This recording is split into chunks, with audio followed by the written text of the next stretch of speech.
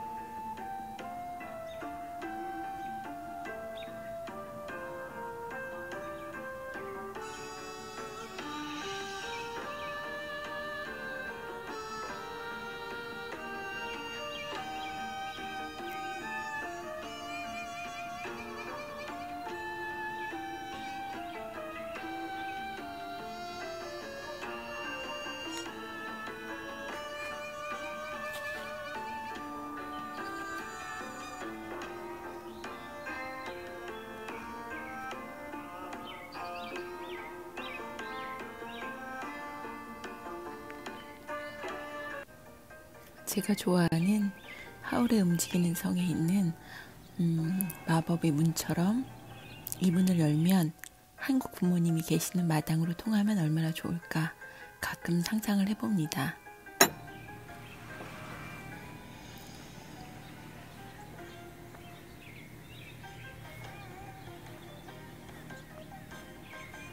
하나를 선택하면 또 하나를 포기하게 되는 것이 인생이라고 하는데요.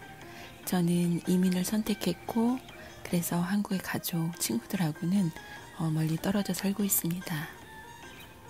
특별히 후회를 하는 건 아니지만, 어, 가끔씩 많이 그리울 때가 있습니다.